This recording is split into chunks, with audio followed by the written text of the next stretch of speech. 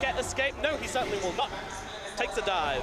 Matumbaman looking for more, trying to just chase down Seb whilst he's silenced. Seb no longer silenced. Oh, what a oh, the Eul's onto Axe. Immediately reacting to that jump in and call. S4 just being controlled up so well here now, finding himself a little bit alone, just trying to get off anything, but Liquid are just kiting him all the time.